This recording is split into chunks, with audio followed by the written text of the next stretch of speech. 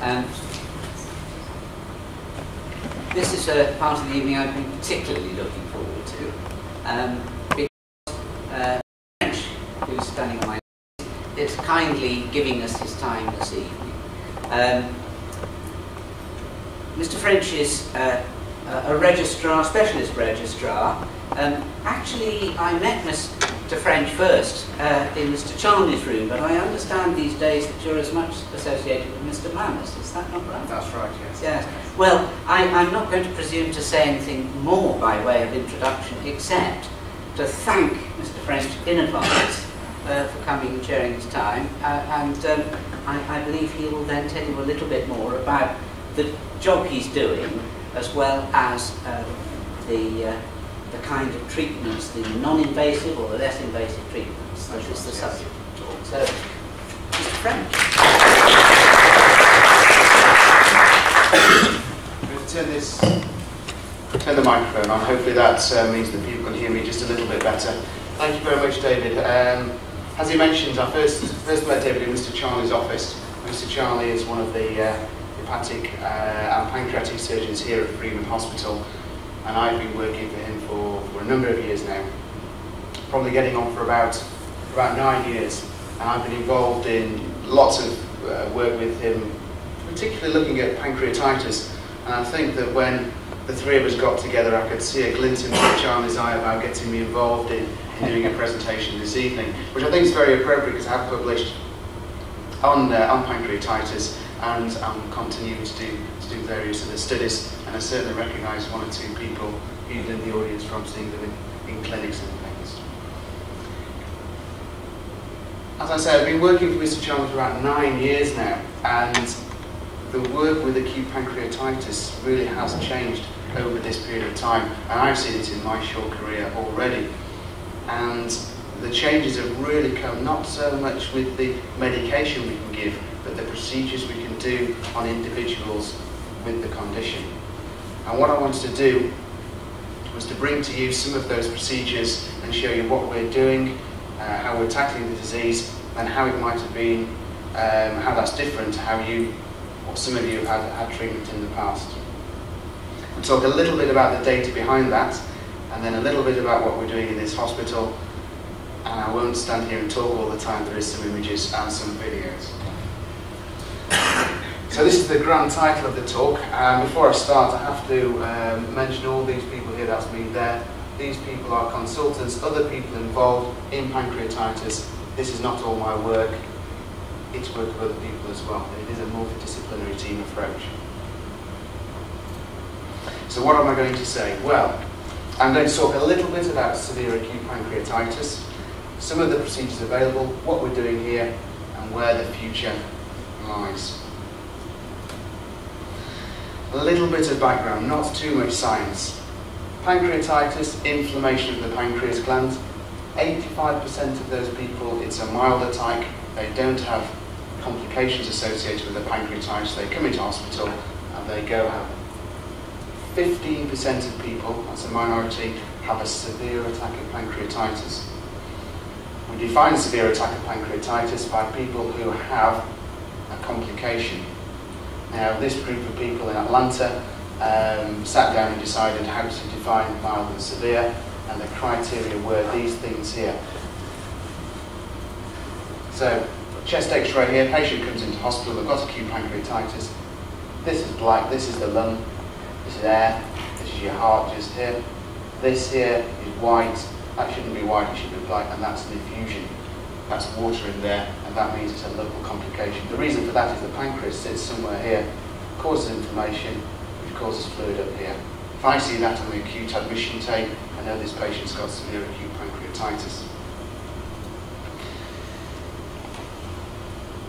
This is a CT scan.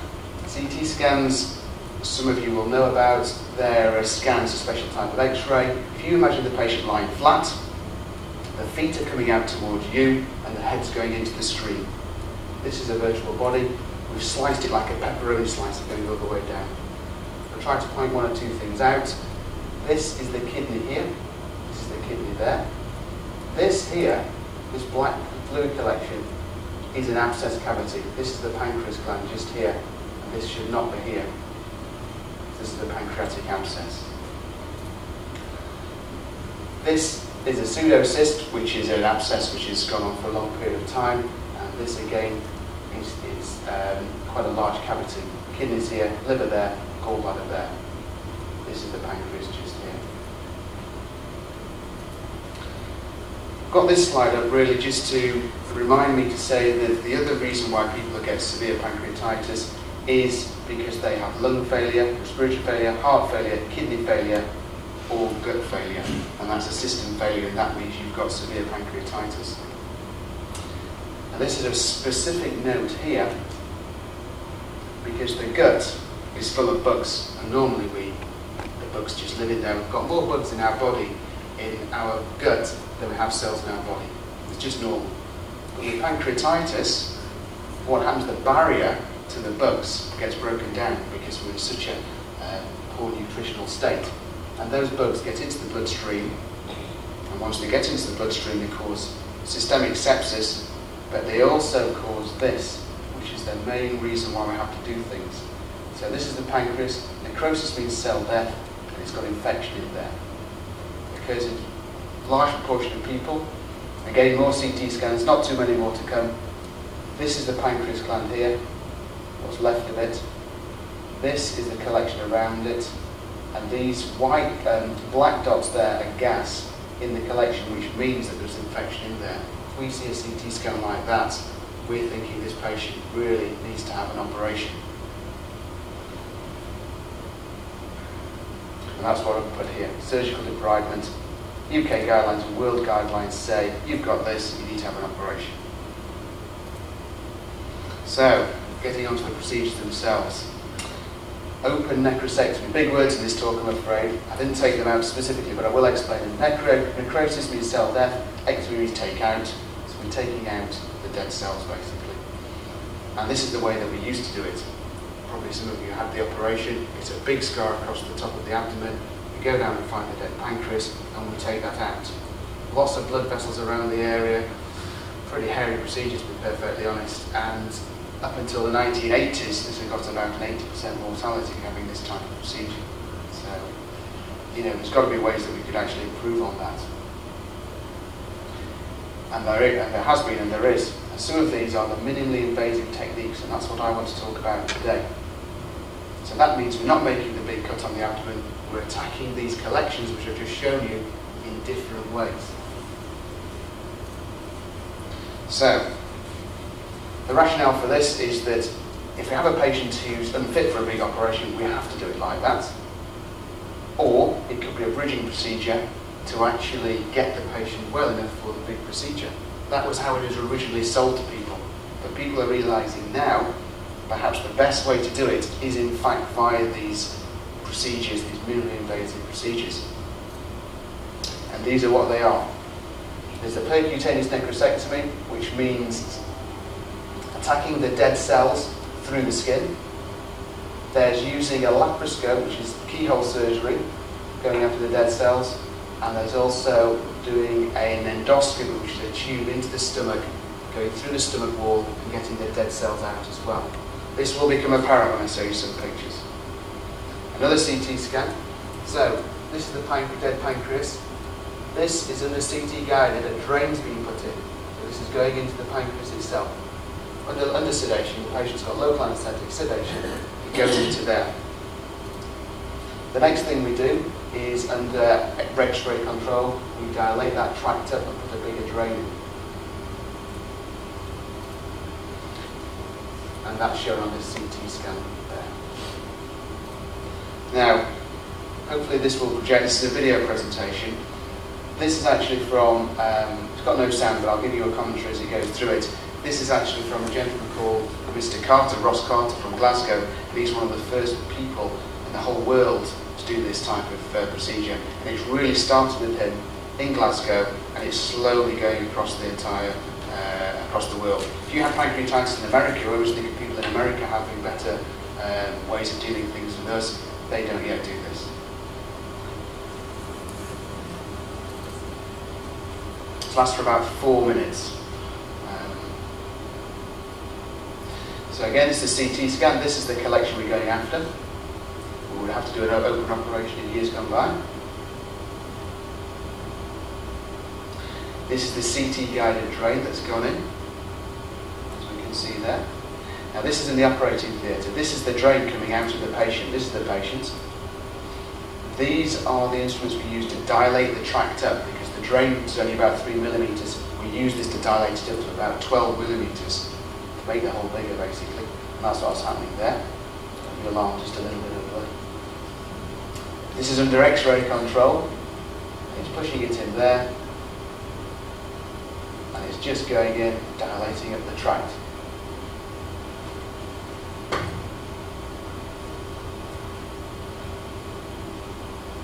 Out he goes, and he goes in with the bigger one. Looks a bit barbaric there, but um, very well.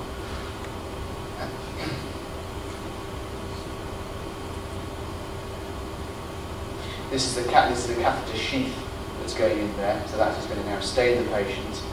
And the whole reason to dilate this tract up, and this is interesting, but look at the pressure of the necrosis in there.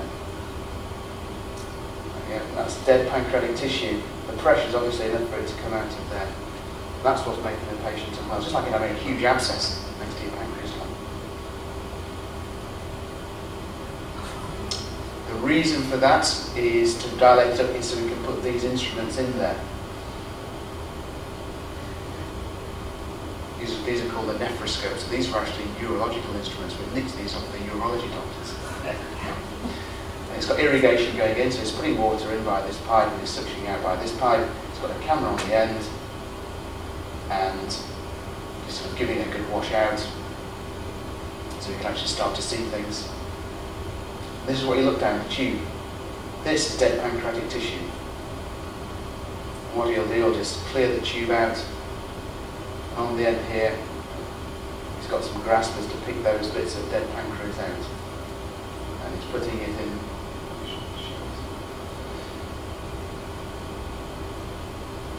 Again, this is the cavity inside the abdomen. This is all bits of dead pancreas on the side. He's pulling out. Too much now. What you want to do when you're doing this procedure is you want to pull out just enough of the pancreas which is dead. You don't want to start pulling out bits of tissue which are alive. And as soon as you start seeing red bits, you start pulling. You don't want to see a lot of red bits. You want to make sure you know exactly where to stop. As you can see now, the cavity is looking very red. So you don't want to start pulling any more of that out. That's looking like a healthy cavity.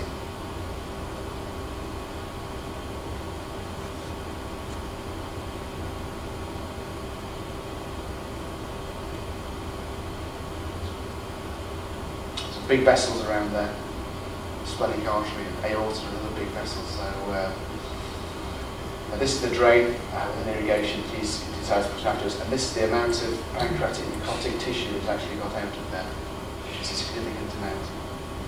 So you compare a hole the size of, what is it, a 10 pence piece, less than that compared to a huge scar that goes across the top of the abdomen. You know, so it's a really good way of doing it. That's the irrigation drain left in situ there. We irrigate that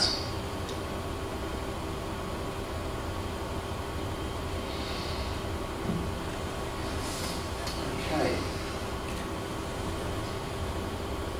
I've actually put some of these slides in before I got that video, so this is what we do in Newcastle. I did have a video of myself doing it, but unfortunately this computer just doesn't play it, but never mind, I'm not that, that too worried about being on the stage. So these are the instruments that we use, uh, very, very similar. We dilate up the tract with these, we put uh, one on top of the other, goes, goes. This is the sheath, and then this is the nephroscope which goes down here and pick things out.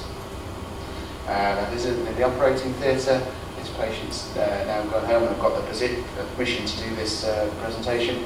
There's myself there. We've got the radiologically placed drain in, in position there. And this is me performing a necrosectomy. There's the tube, this is the nephroscope, this is the screen I'm looking at, and you can just see that I'm starting to pick out some of this dead tissue. I don't know why she was not very interested in, it, more interested in something which is happening down there. So. This is the tube uh, looking down, there's a bit of dead pancreas I'm about to take out. And these are the bits of pancreas that I pulled out. Just basically dead meat, which is a, is a, is a focus for infection and making the patient very unwell. So, um, what we want, um, there are limitations associated with this. Um, it has to be in a region which we can actually get to with regard to the CT guided drain. Not every collection is like that. But these fears that we had beforehand have actually not really borne out. And because we can go into the pancreas via the left or the right, you can actually get to just about every area. So this was something that we didn't really come across. Now, I want to talk a little bit about the second approach. So we've seen the approach going straight through the skin, going straight through the pancreas. what about going with the telescope?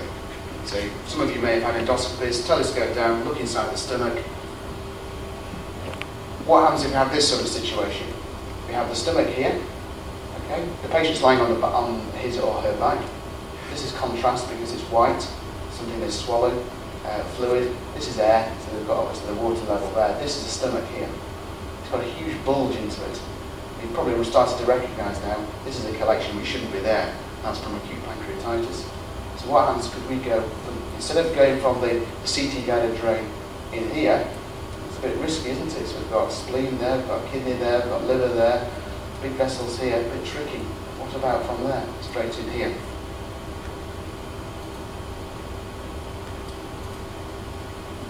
Some patients with this type of procedure aren't actually, um, we can't do it. This patient has got multiple uh, loculations, so we couldn't do it with this patient. This patient's got involvement in the abdominal walls, so that would be difficult. And this patient's got a very small collection of big vessels in between, so we wouldn't want to do it there. So I'm not saying this is a panacea, but it's another weapon in our armoury. Another couple of videos here. This is um, ultrasound. So what happens is you have the telescope down, it looks inside your stomach, it's got an ultrasound probe at the bottom. The ultrasound probe presses against where we think the big cyst is, and the black's fluid and the white's tissue. So we can obviously see here we've got the right spot. This is a video of an actual um, uh, endoscopic procedure. We'll see how far we get with it. Just go a bit hazy at one particular point, but you'll get the idea about what it looks like. But unfortunately, in black and white, but I think you will get the idea. So this is inside your tummy, and what we have is we've got a huge bulge here. That's bulging into the stomach. That shouldn't be there. We've ultrasounded it, so we know it's fluid. This is a cannula. Pushing into the cyst. These cyst walls are quite thick wall actually, so it does take a bit of force. I think it's Dr. Apong which did this, one of our gastroenterologists. I don't think he did get in the first time, so I think he uses a bit of electric current just to go through to get in. There you go, see the bubbles. Is that a is, it's not a, uh, this is not a pseudocyst, this is a, a, an acute collection. You can use this for a pseudocyst as well, the difference between a pseudocyst and a collection is a pseudocyst has been there for four weeks, whereas a collection is usually in the acute stage, whereas um, a pseudocyst is a, is a late complication. I'll not play this for too much, too much longer. But suffice to say that what Dr. Pong's trying to do now, he's got a wider cannula again, it's the same principle, you put a fine wire in, you dilate it up, and what he's trying to put in is a stent. A stent's like a small tube-like straw structure, and that's hopefully going to go into this cyst, and then the fluid will drain from the cyst into the stomach. Sounds pretty unpalatable actually, that stuff going into your stomach, but you don't taste it. I think we'll call it, call it the quality uh, isn't so good after that. And this is what it looks like when we CT scan the patient. You can see here, this is the stomach, here's this uh, stent going into this big collection. Um, and believe it or not, that will start to drain through those stents. What do you do with the stent afterwards? That stent has to be taken out. Yeah, Yeah, we can't, we can't leave that in. There has been some hairy moments where you can imagine um, the stent, instead of being half out and half in, they're, they're what we call pigtails. So they've got, you know, they're straight and then they've got a curl on the end. So when it goes in, it curls up. When it's on the outside, it curls up, so it shouldn't be able to move. But we have had a situation where one of these stents has gone in there, which was, you just have to remain calm and pass some little forceps into the cavity, and you can usually blindly just, just grab it back. So Ideally, they should transverse the, um, the actual wall of the cyst. Okay, just wanted to tell you briefly about all this in theory, but what have we done actually at Freeman Hospital? Um, our first procedure was made 2002. This is just looking at uh, predominantly the endoscopic procedures. 13 patients with this infected necrosis, the indication to have it done. Quite a lot of data here, so I'll just skip through it. Suffice to say that the, the actual reason we wanted to do this was to try to have some evidence which would suggest that doing it with these minimally invasive techniques was better than the big operation. So to do a test, you have to make sure that the patients who are having one type of procedure are the similar type of patients who are having another type of procedure. I mean, it makes sense really. You can't have these patients between you know, all 80 years of age and all these 50 years of age because there's going to be a difference there. So what we've just looked at here is to make, try to make sure that these, these patients are all, uh, all, all, the same with regard to their um, severity on CT, etc., etc. So just to prove that they've all got bacteria lurking there. Um, interesting point on this procedure is to say, uh, on this slide, is to say that these patients do require repeated procedures. So with the one big cut, you actually, it's usually just one procedure. But with the minimally invasive ones, you do have to go back time and time again. Um, okay, we did have some patients that unfortunately died, but these were actually of uh, conditions not related to pancreatitis. This is a patient got very severe angina, unfortunately uh, had a heart attack, and this in fact was a, uh, a chest drain that was put in the ITU. Patient died after that was inserted because it had a major vessel. But these things unfortunately do happen. Um, so does it improve outcome? So these are the groups we looked at. 95 to 99, that's when we were only doing the big, big cut. Next page, next time was open and percutaneous, which means big cut and the first thing with the, with the CT guided drain, and then we're getting more weapons now. Got open percutaneous and endoscopic as well. So we've got all the, if we've got these three procedures versus one, are these patients doing better than these patients? Um, this is the page 33, 37, 42. Um, so good numbers of patients, and this is to compare what happened to them. We look here, total hospital stay, 65 days for the just the open, 49 for open plus percutaneous, but only 34 for the three types of procedure. Um, and this is a score of how well they were. They're all about the same. Other thing to see as well, deaths, 39%, 46 and only 33% when we've got all the um, uh, modalities available to us. Uh, some more data, I'll just skip through these. This just highlights, only 33% death. You may think, well, that's quite a lot actually, 33%, 1 in 3, but you know, the literature on these patients in the 1990s was 80% mortality, so you know, we have actually come a long way. Um, ITU stay. You can see ITU stay is about the same, but there's a, trend towards group 3 having less stay in the ITU. Certainly total hospital stays less. Um, I put this slide up? I think this was to show that the uh, patients had the same uh, what I wanted to make sure was that the patients who had open necrosectomy only weren't in fact a worse group. And in fact, if we look at this, they're actually a better score this is acute physiology and chronic health evaluation. It Just takes lots of things into account. These patients were actually better than the patients we've done the three procedures on. So, in conclusion of this particular section, we think that endoscopic necrosectomy is uh, feasible, um, and we think it reduces the hospital stay. Those are the conclusions we can uh, draw. Percutaneous necrosectomy, I think, has got a significant advantage. Um, unfortunately, I haven't got enough numbers to prove that statistically, which is the bugbear of medical science these days. I say bugbear because in years gone by, people have just done it and said, this is the best way we're going to do it. Now we have to have trials compare one, one and the other. So now we've, we've talked a little bit about, we've identified a problem, we don't think the procedure we had to deal with the problem was very good, so we've got some new techniques. How can we help people in this region with these new techniques? That was the question that Mr. Charnley and myself sat down and we thought about trying to expand this procedure include people of this of the whole region. Before we can do that, we have to collect data. Again, it's coming back to data, it's coming back to figures, it's coming back to numbers.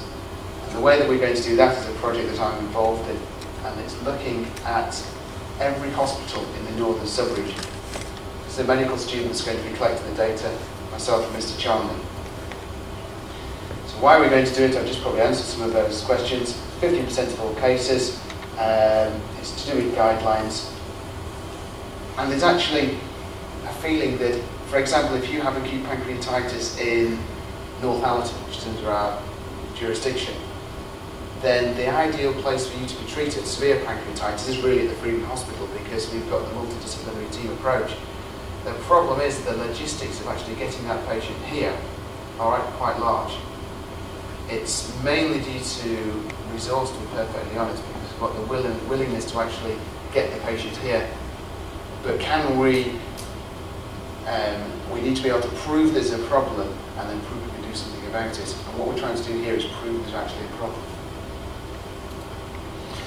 So what, what Matthew is going to do is going to go around all the hospitals in nine months. He's going to collect all the data from 700 cases mild, then it's 140 the severe cases. He's going to collect all the data on these cases, um, looking at all these particular things. So basically, we're going to have a full data set, we're going to know what's happened to them, when they've had CT scans, how bad their inflammation is, and what that will give us is it'll give us a number of patients that we could potentially help at Freeman Hospital. So we want to know how many patients, what's the disease burden, and do these patients have access to the Freeman Hospital? And if they don't, we want to really say to people who can actually give us the resources to be able to do it, we need to actually help these people. So the overall conclusions of the talk really are, it's got a significant instance, about 150 patients a year have this problem. You need to have a multidisciplinary team, you need to have surgeons, you need to have endoscopists, you need to have radiologists, you need to have people in ITU. You need to have nutritionists, you need to have physiotherapists, and you need to have just a group of people who are interested in the disease. There's new techniques that are available, which we only do at the tertiary centre. These, these procedures are not done in any other centre in the North East. Virtually a few centres in the UK, to be perfectly honest. So we want to highlight the problem, and we can potentially get more resources if we highlight the problem, which is greater care for the patients in the region, which is hopefully going to reduce mortality, which is death, and morbidity, which is complications. Thank you very much.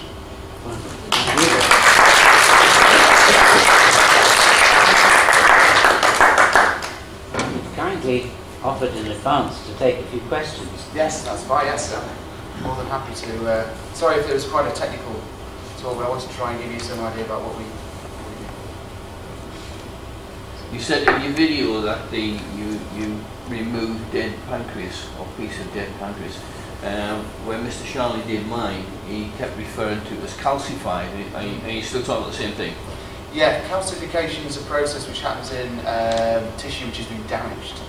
So um, the calcification means that the pancreas has gone through some damage, it's got fibrosed, and if calcium's there. It doesn't necessarily mean that the pancreas is dead if the calcium's there. It's probably some time ago that that's happened. Right. Uh, so, Because he, he did the uh, the full moon on me. oh, we did the full, uh, yes, full open. the whole bit. Right. Right. Yeah. And he left the head in as well, by the way. I was going to say, did you manage to avoid diabetes? Uh, up till three years ago, yes. Three years ago. I've just gone. I've just gone on to uh, insulin the last two years, but um, prior to that, it was using the gliclazide tablets. Yeah, But just the head of pancreas kept kept you going. kept me going for. It was 1997 when I had the operation. Right.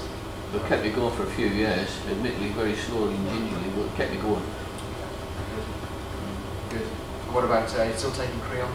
Yes, that's the downside of it. But hey, I'm still alive. Looking good as well. Can I just see the head of the pancreas on my down? Right. Um, does that have to be removed? It doesn't have to remove no, because what will happen is that we only have to remove pancreatic tissue if it dies, if it becomes infected. And that's the whole base about doing an operation. We can watch a pancreas gland that's inflamed and we can see that it's died. And as long as you don't get any complications from that, it will just wither away. So it shouldn't cause a problem at all.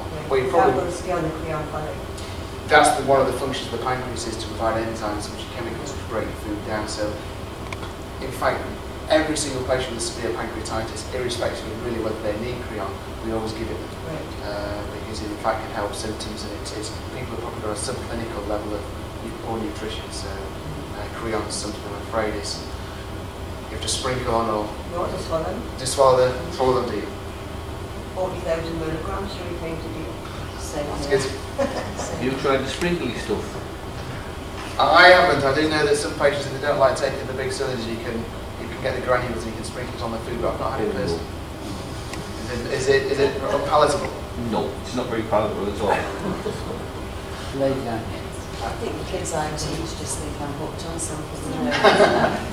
um, it's a question not really related directly to the talk. Does that go would you right? speak so that uh, others could hear? Yes, sorry. Uh, well, two questions. One is related to what you've been speaking about, which is perhaps how you still select, uh, you're still using the open surgery. And the other one is, this is just a question of interest as, a, as a, an alien from uh, Merseyside. I am at the, at the Royal uh, Hospital in Liverpool. How often is a total pancreatectomy um, undertaken? Um, Would you say right, okay. here at Freeman? Uh, First question was about selecting which patients have the uh, procedure. Here at the Freeman Hospital now, we're really in a situation that um, if a patient has got infected pancreatic necrosis or an infected abscess, which is a fluid collection which has got infection in, and the patient is unwell, showing signs of organ failure, then that is our indication to an operation. Our first line of managing those patients would be with minimally invasive techniques. So any patient we can possibly do put drains in via CT guided and endoscopy, we can start off with that. We really, since 2002, have only used the open procedure because of the failure of the minimally invasive techniques or a complication which has arisen from them, which is actually quite a, a small number of people. So we're really, really pressing, pressing this. Um, the second question, which is with regard to uh, Total total pancreatectomy, actually it's interesting because um, in, uh, in Liverpool they do this procedure, they call it a skunk procedure, which is uh, it's a- he certainly does that actually. He does it slightly differently, but virtually the same, uh, same, uh, That's same what that technique. going to be a supplementary question that each surgeon seems to have a slightly different way Yeah. of approaching this. Yeah, Doing the plumbing, as he puts it. That's right. I mean, they have. I think probably that's related to pancreatic cancer issues, but certainly acute pancreatitis. You've got to, the base of it is you've got dead pancreas in there, it's infected. You've got to get it out. The way to get it out really is using a small one rather than a bigger one. The question of total pancreatectomy um, is something that would, in the acute stage for acute pancreatitis, you don't go in and say I'm going to take the whole pancreas out because the inflammation around the tissues is just impossible to do. You do a damage limitation, you take out the bit of the pancreas which is dead and then you deal with the complications later. Total pancreatectomy is usually reserved for the elective state of the patient. For example, if they've got multi uh, uh, zone cancer of the pancreas or polys polycystic disease of the uh, pancreas, and also if you're doing an operation on the pancreas to take the pancreatic head out and the rest of the pancreas looks difficult, do a plumbing you would say, right, we're going to take the rest of the pancreas out. You make that Um, sort of decision on the spot. that would be a decision on the spot. So if I'm doing an operation, we take the pancreatic head out. This is for pancreatic cancer, not pancreatitis. You're taking the pancreatic head out. You've got to join the pancreas up with the bowel.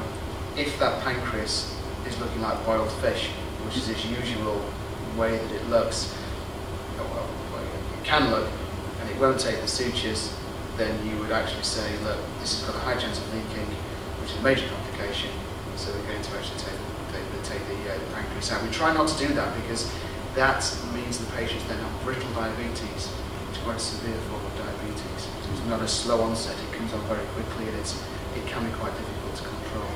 So we try not to do that. That's the difficulty if you choose to, as I marked, as a hereditary pancreatitis, Right.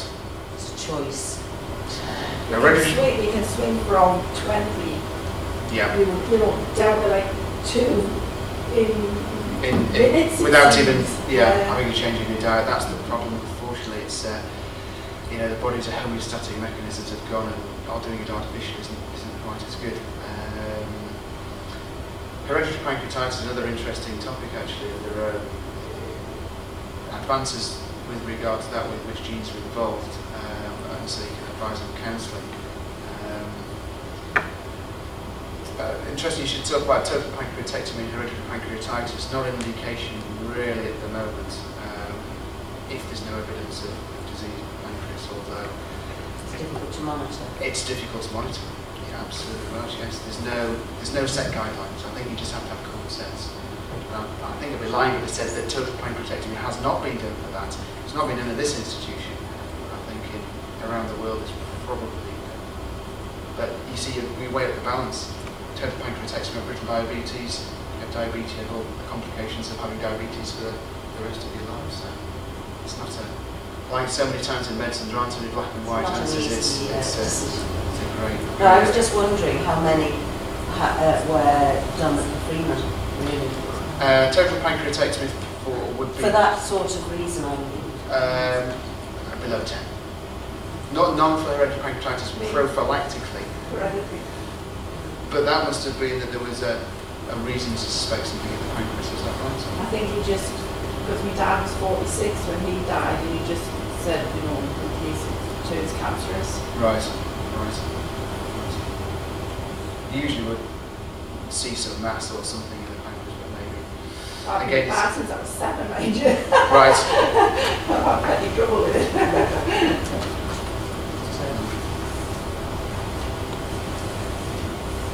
Any other questioners? You say you have to come back when you go in, Yeah. like people wise. How quickly would you have to come back? It's a good question, yeah. We, um, with the one which has got the drain in the side, uh, we, we have to go back probably on a weekly basis. Uh, there's a gentleman on the ward, in fact, the gentleman you saw has gone home now, went in five times. Um, and um, the reason why we leave it a week is that you saw at the end there was a drain that was left in. The drain will irrigate with water. What the water does, slowly goes in, it softens the pancreas. So more pancreas dies, it softens it. So when I go with the telescope, I find it easy to pick out.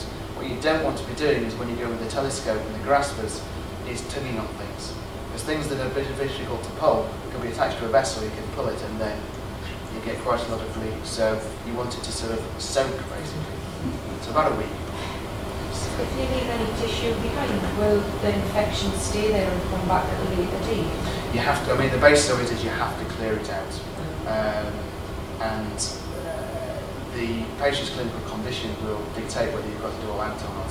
What normally happens is you get the drain, you do the procedure, you CT scan them on a Monday, you, go in again on the Wednesday, Thursday, you wait, you CT scan them on the Tuesday, you go back in and you just see where the collections are and you go after. And that's the practical, practical aspect of it. Where you have to get all the tissue out. Does that tube stay in? Or We would, um, so you wouldn't have to make the hole anew? each no, you're right. The, the, the, the drainage tube Yeah.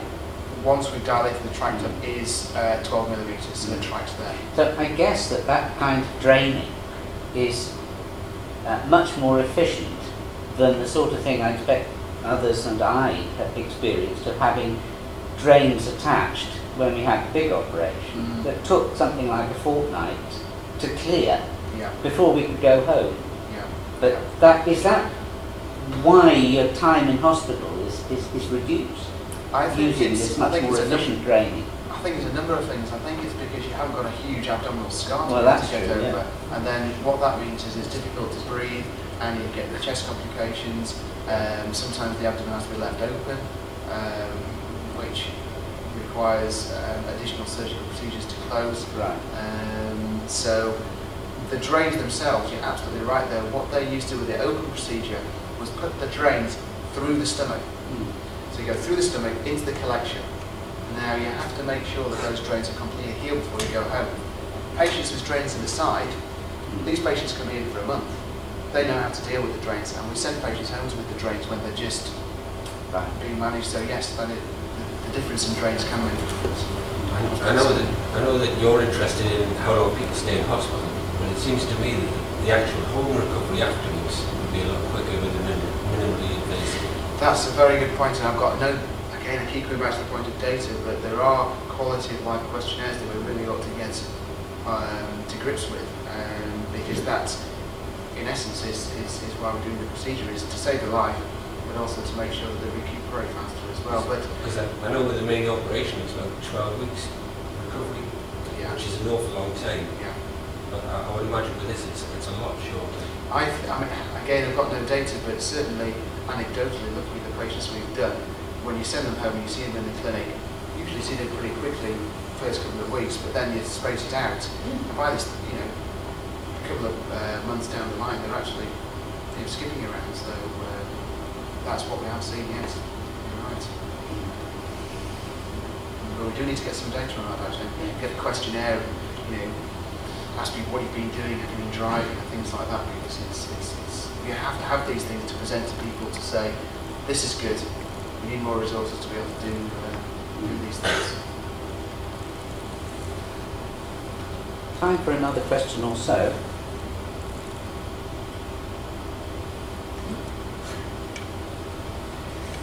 I'm going to take the chairman's privilege and ask one then, uh, uh, which is, d- does it require less um,